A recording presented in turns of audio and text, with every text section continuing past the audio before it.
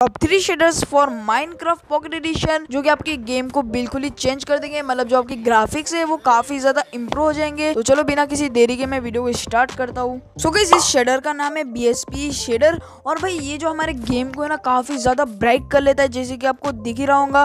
और ये काफ़ी ज़्यादा रियलिस्टिक भी है। और ये देखो गेम के जो क्लाउड्स है, ये भी कितने रियलिस्टिक लग रहे हैं। क्लाउड्स ही नहीं, बल्कि सन भी है ना, काफ़ी ज़्यादा रियलिस्टिक लग रहा है। एक बार वाटर पे भी नज़र मार लेते हैं। वाटर तो इतना चेंज नहीं है बट इसका जो है, वो थोड़ा बहुत डिफरेंट हो चुका है और वाटर के अंदर थोड़ा बहुत है ना ब्राइट हो चुका है। और चलो अभी शेडर का एक बार है ना, हम ड्रोन शॉट ले लेते हैं।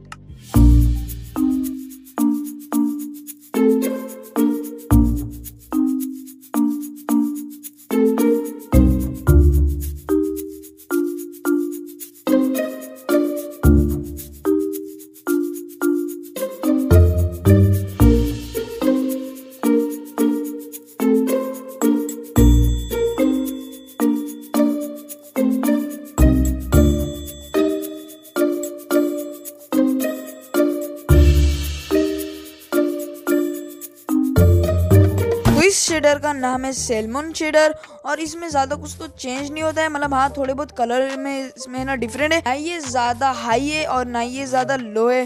बल्कि ये थोड़ा है ना मीडियम है और ये लो एंड डिवाइस के लिए बिल्कुल परफेक्ट है। ये देखो जो हमारा वाटर का इफ़ेक्ट है मतलब जो उसका कलर है, वो भी थोड़ा बहुत चेंज हो जाता है और उसमें कुछ कुछ चीज़ें ना जो है चेंज हो चुकी है। और ये लो एंड डिवाइस के लिए काफ़ी ज़्यादा बढ़िया है क्योंकि इससे लो एंड डिवाइस का कुछ लैग नहीं होता और हाई एंड डिवाइस तो इसको मक्खन की तरह यूज़ कर सकते हैं। विल तो ये हमारा थर्ड नंबर का शेडर जिसका नाम है एच वाई आर डी और भाई, इसको लगाने के बाद जो आपका गेम है वो काफ़ी ज़्यादा चेंज हो जाने वाला है।